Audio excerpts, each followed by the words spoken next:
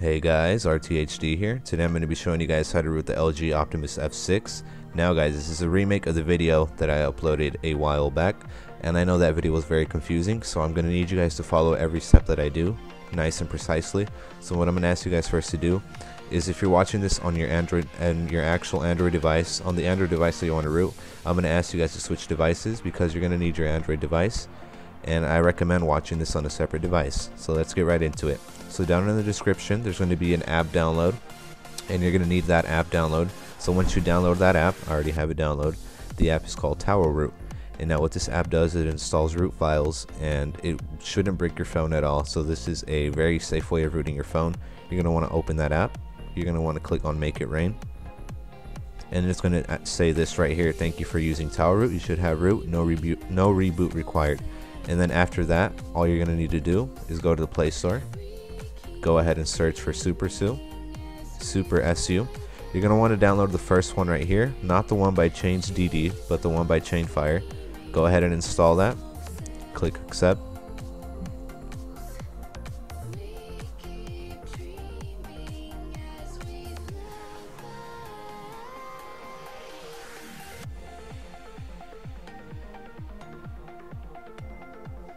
Alright, once it is successfully installed, we're going to want to open Super SU.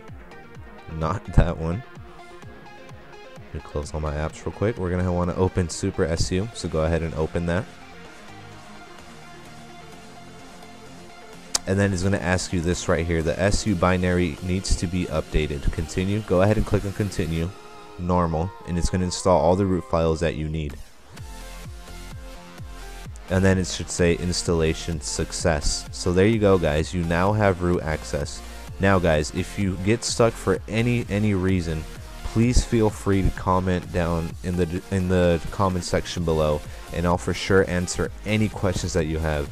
In the previous video I didn't answer questions and I do apologize but now I will be on top of that and answer any questions that you guys do have.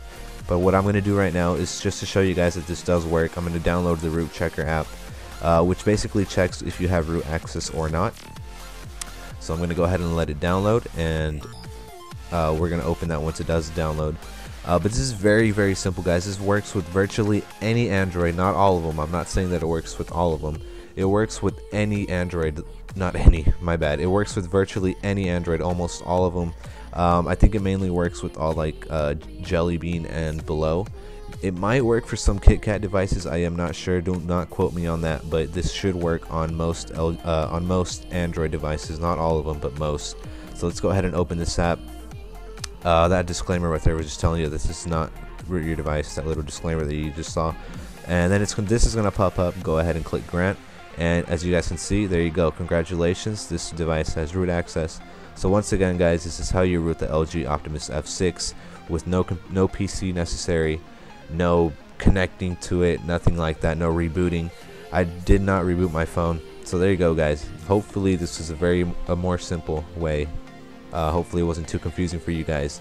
But like I said, if you do get stuck for any reason whatsoever, go ahead and um, put down your questions in the comment section below, and I promise you I will answer your questions. But thank you guys so much for watching this video, and I will see you guys in the next one. This has been RTHD, signing out.